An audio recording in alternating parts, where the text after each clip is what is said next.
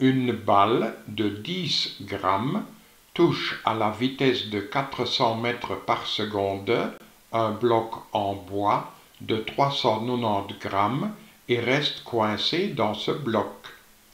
Calcule la vitesse à laquelle le bloc contenant la balle se meut après la collision. Voici les données. La masse M1 vaut 10 grammes, c'est-à-dire 0,01 kg. La vitesse V1 vaut 400 mètres par seconde. La masse M2 vaut 390 grammes, c'est-à-dire 0,39 kg.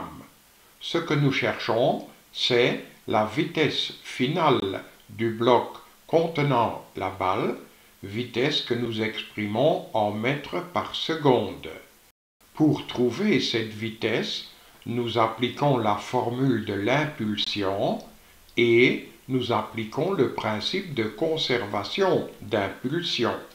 Ce principe donne M1 fois V1 plus M2 fois V2 qui est nul est égal à M1 plus M2 fois la vitesse finale V.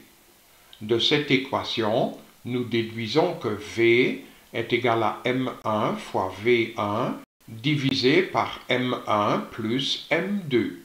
Nous remplaçons le M1 là et là par 0,01. Nous remplaçons le V1 par 400 et le M2 par 0,39. Ainsi, nous obtenons comme vitesse finale V 10 mètres par seconde.